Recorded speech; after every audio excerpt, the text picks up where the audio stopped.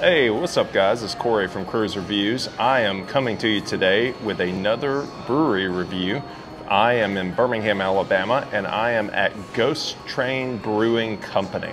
So Ghost Train is right outside of downtown, and it is kind of one of the new kids on the block. So I'm excited to share this with you. Let's go.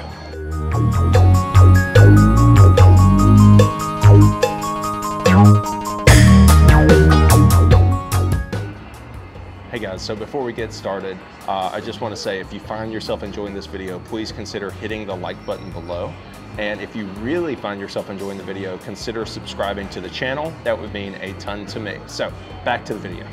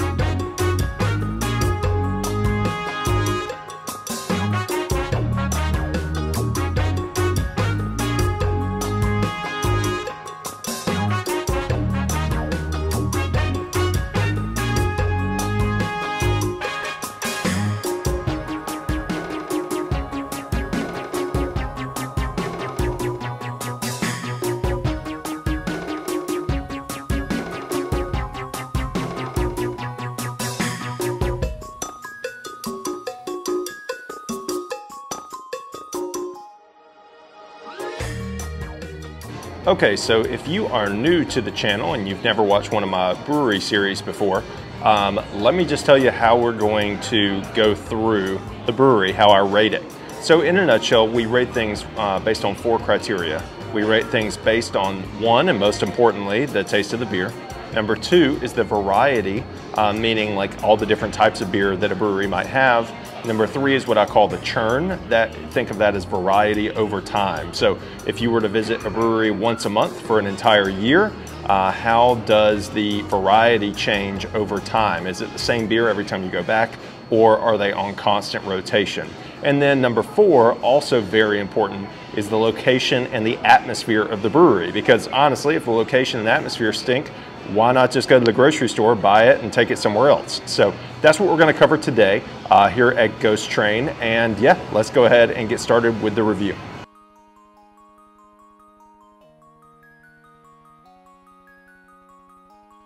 So uh, just a quick note, I left my tripod at home, so if we're a little more shaky than usual, it's because I'm having to just hold my phone, uh, which stinks. But uh, anyway, it just is what it is today. So uh, the first one up is a sour beer. That's what we're gonna start with first. It is like a blueberry lemon sour. It's called CTC is what they wrote on the flight. So let's give it a go.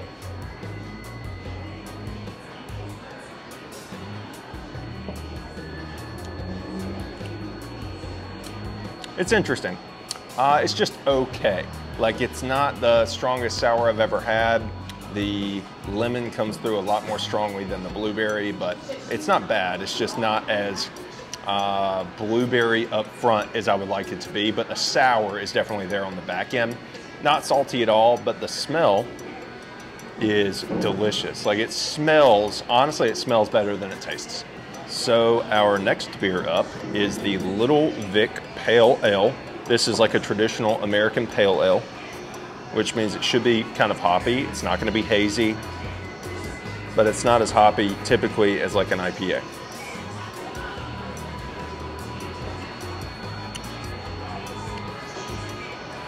Oh, that's really nice. Like that's exactly what a pale ale should be. It's pretty hoppy, but it's not over the top hoppy. It is piney, it's resiny. Oh, I, I like that. Like a lot of times now, like the pale ale has gone the way of the dodo. It doesn't exist hardly anymore. Most people just have like a session IPA, which is kind of like a pale ale, but honestly it tastes like a watered down pale ale. So Um, I much prefer this. It's, it's quite good. So I'm a big fan of this pale ale. And next up, we've got the big Allurium IPA. This is like a 10% IPA, uh, so it should be pretty, uh, pretty big, pretty bold. Let's give it a go.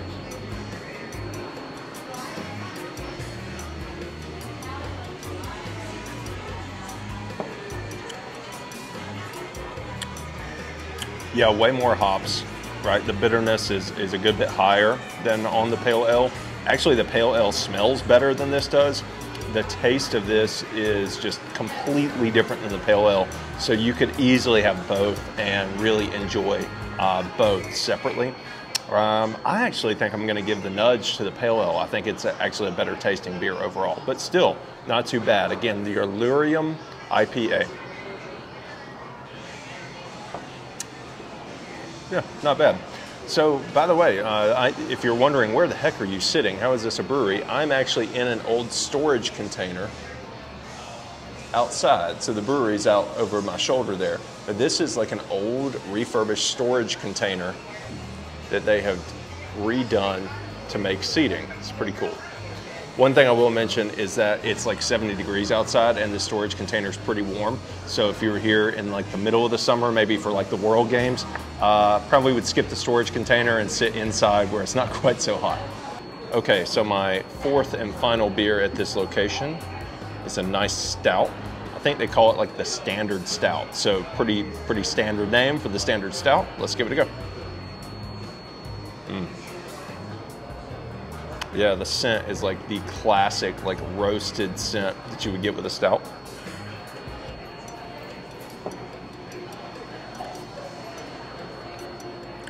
Yeah, that's pretty good. Like it's it's um, it's a little drier than I was anticipating. So it's like a nice stout, but it's it's almost like a dry stout. Uh, and if you are not familiar, a dry stout's like Guinness. Uh, the mouthfeel is just different. It's not as robust uh, mouthfeel, so you get a lot of the scent, you get a little bit of the bitterness, but it doesn't just like explode uh, with flavor. And a lot of people prefer that. So it goes down a little easier. It's a slightly lower carbonation, uh, so it's, it's quite yummy. So not bad at all. And actually, just a quick word about that stout I was just telling you about. It's actually not a stout. I just went back and reread It's called the standard porter, so we don't have the alliteration, but the notes are still the exact same.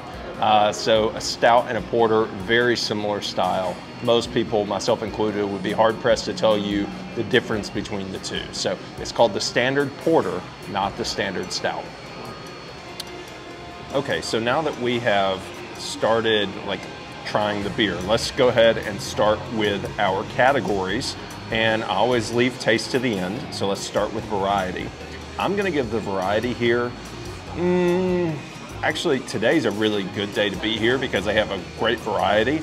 I would say just overall, I'm gonna give the variety like a three out of five. And it's not actually because the variety is low. Um, like they have a light beer, they have a number of sours here today. They've got a, a pale ale, they've got an IPA, and they've got a porter. Uh, so the variety is actually quite good, but the number of beers is a little bit lower here. So you're not gonna get like 20 beers or something like that. The variety is good, but you're only gonna have maybe one of each style. That's not a bad thing, but I am gonna count a couple points off for that just because it's a smaller brewery, uh, so you're not gonna get quite the like wide variety in terms of like you're not going to get four IPA choices like you would at like a Monday night brewing. But that's not a bad thing. So the variety is great in terms of like it's going to make everybody happy when you come here, uh, but you're just not going to have a ton of stuff. So if you only like IPAs, you might come here for one and then go to the next place. Uh, but if you're here with a group of people for like a happy hour, then it's awesome because almost anybody's going to be able to find something they enjoy. Now let's talk about churn. Conversely, even though the uh, because they don't have as much variety, right? They don't have as many beers. Their churn is like off the charts, right? They have a lot of beers that they they're not their flagship beers that you would see in the store on tap. So I'm to give the churn like a four and a half out of five, just because every time I come here, they've got new stuff and a large portion of their menu is new. They only have usually one or two flagship beers out of their 10 beers on tap. Uh, so the churn rating, four and a half out of five, very, very good. And it kind of goes the opposite way of variety, right? If you've got a ton of beers on tap all the time, variety is really high, but churn is typically a lot lower. If you only have 10 beers on tap, then you know variety might be a little lower, but churn is going to be traditionally quite high. So let's talk about atmosphere and location. The location is super convenient. They've got their own parking lot, which is really convenient, um, which I love. Um, the atmosphere here is definitely kind of more eclectic, which I love too. Uh, it feels a little bit industrial, but not like just this like straight up like uh, prototypical industrial flair. Uh, it feels kind of like thrown together, but in a cool way. Uh, so I love the vibe. I love the location. I'm gonna give the vibe uh, and location like a four and a half out of five. They even have a stage for live music, which you'll see in a second. They have tons of varieties of seating, plenty of outdoor space. The only thing that I can count off for is they don't have a ton of space. If you have like a dog or something, you're kind of pretty close together. So if it's a busy day, I might not bring my dog here just because you're gonna be really close to other people and that might not be perfect. Uh, but that's a small thing, right? Uh, and a small portion of the population is gonna bring their dog to the brewery. But if that's a consideration, just remember if it's a really busy like Saturday afternoon, this might not be the best place to bring your dog uh, if, it's, if it's a busy day.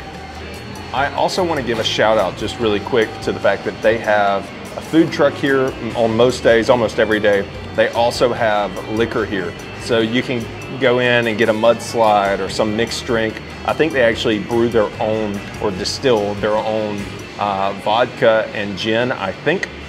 I'll confirm that.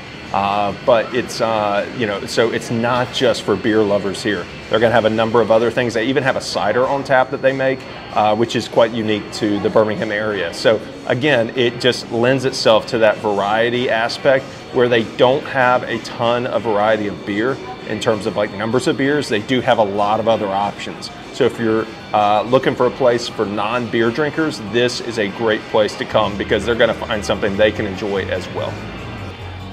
Okay, so it's time once again to talk about taste. All right, taste is the most subjective rating because your taste might be different than my taste.